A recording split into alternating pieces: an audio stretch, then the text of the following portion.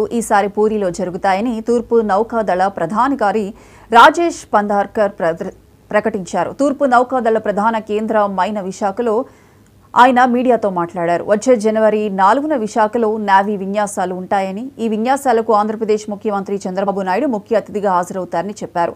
అత్యవసర సమయాల్లో విపత్తుల్ని ఎదుర్కొనేందుకు భారత రక్షణ రంగంలోని ఇండియన్ నావీ సర్వీస్ సర్వసన్నద్ధంగా ఉందని అన్నారు. On this annual Navy Day press conference. And at the outset, I would like to extend my warmest greetings to each one of you on this occasion. The Navy Day operational demo by our ships, submarines, and aircraft this year is scheduled to be conducted off the Golden Beach at Puri in Odisha on the 4th of December. The Honorable President of India would be the chief guest for this occasion. This is not to say that the people of Vizag will be missing out on this annual activity.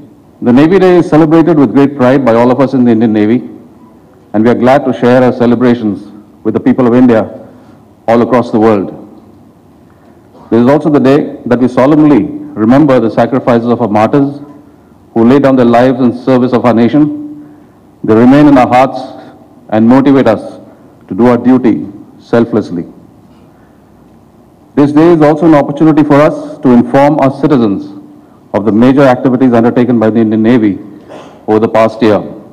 Therefore, in the next 20 minutes or so, I will provide you a brief on what the East Naval Command has been doing since the last Navy Day and why we are doing it.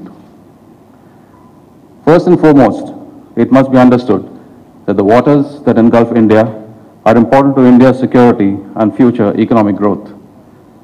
India's coastal regions house around 25% of India's population. Fisheries and aquaculture contribute to about 7% of the country's total food production. And India's fish catch has seen an increase